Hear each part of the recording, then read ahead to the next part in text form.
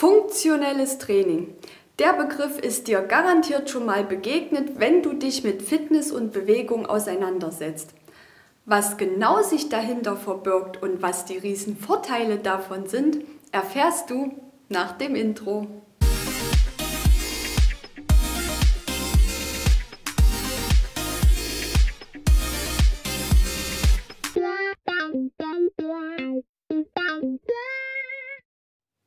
Und damit begrüße ich dich ganz herzlich zurück auf meinem Kanal.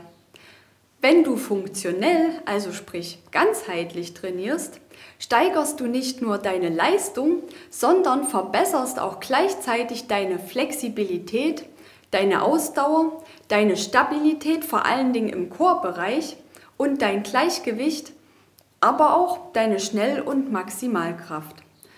Bei dieser Art von Training werden mehrere Muskeln bzw. Muskelgruppen gleichzeitig beansprucht und genau hier liegt der Riesenvorteil zum konventionellen Krafttraining an Geräten, wo die Maschine eine geführte Bewegung übernimmt und du meistens nur einen Muskel gezielt aktivierst. Zu Beginn trainierst du mit deinem eigenen Körpergewicht. Wenn du dann fortgeschrittener bist, kannst du diverse Hilfsmittel wie Resistance-Bänder, Kurz- oder Langhanteln, Slingtrainer, Dippern oder Gymnastikbälle in deinen Übungsplan integrieren, damit du immer wieder neue Trainingsreize setzt und auf diese Weise Progression erzielst. Funktionelles Training ist sehr effizient, egal ob du Muskeln aufbauen oder Fett abbauen willst. Es eignet sich sowohl für Einsteiger als auch für Fortgeschrittene und kann somit in jedem Alter ausgeübt werden. Du kannst deinen Trainingsplan individuell auf deine Konstitution anpassen. Was ganz wichtig ist an der Stelle, wenn du bereits Beschwerden oder Vorerkrankungen hast, dann halte bitte vorher Rücksprache mit Arzt, Physiotherapeuten oder Heilpraktiker, bevor du mit dem Training beginnst. Dadurch, dass du vor allem mit komplexen Übungen die großen Muskelgruppen trainierst und viele Muskeln gleichzeitig beanspruchst, reichen schon zwei, dreimal die Woche so 45 Minuten aus, damit du sichtbare Erfolge verbuchst. Mit Hilfe vom funktionellen Training kannst du sogar körperliche Disbalancen ausgleichen und dein Verletzungsrisiko reduzieren. Dabei stehen dir eine Vielzahl von Übungen zur Verfügung, sodass dein Training nie langweilig wird, sondern du es immer sehr abwechslungsreich und vielseitig gestalten kannst. Deshalb möchte ich dir mit diesem Video eine kleine Serie näher bringen, wo ich die wichtigsten funktionellen Übungen wie Liegestütz, Kniebeugen, Kreuzheben, Ausfallschritte oder Rudern erkläre, sodass du dein Training bestmöglich optimieren kannst und noch schnellere und sichtbare Erfolge erzielst. Die wichtigsten funktionellen Übungen stammen übrigens aus dem Yoga. Das sind nämlich die sogenannten Asanas. Der Begriff kommt aus dem Sanskrit und bedeutet so viel wie Körperstellung oder Körperhaltung.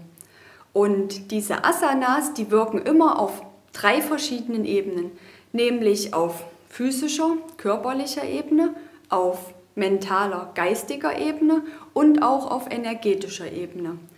Im Yoga gehen wir nämlich davon aus, dass wir nicht nur aus unserem physischen, also sichtbaren Körper bestehen, sondern auch aus einem Astralkörper bzw. Energiekörper sowie einem Kausalkörper.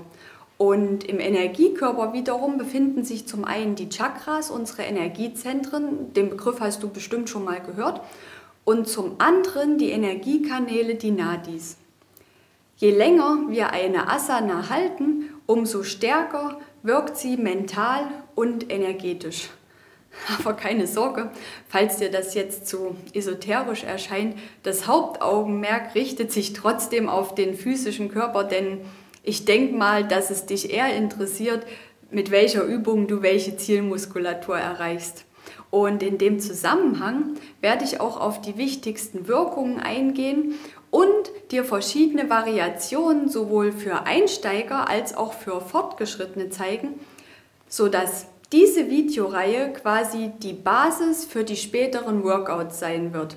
In denen werde ich dann die Techniken und Wirkungen nicht nochmal genauer erläutern, denn das würde sonst den Rahmen sprengen und auch so den Flow unterbrechen. Wenn du irgendwelche speziellen Wünsche hast, wo du sagst, ich möchte die und die Übung genauer erklärt bekommen, dann schreib mir das unbedingt in die Kommentare.